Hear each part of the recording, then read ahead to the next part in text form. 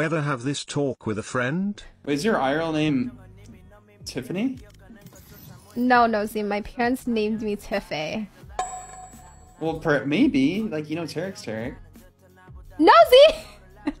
Uh, perhaps there's a world. Nosy, is your real government name Nosy?